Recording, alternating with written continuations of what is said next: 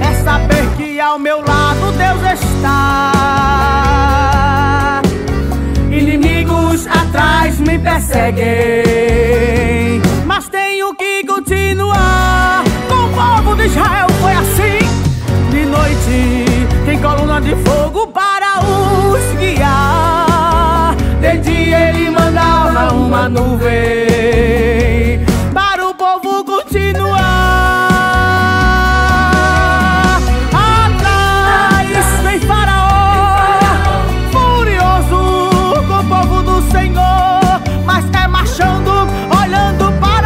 que o crente vai vencendo.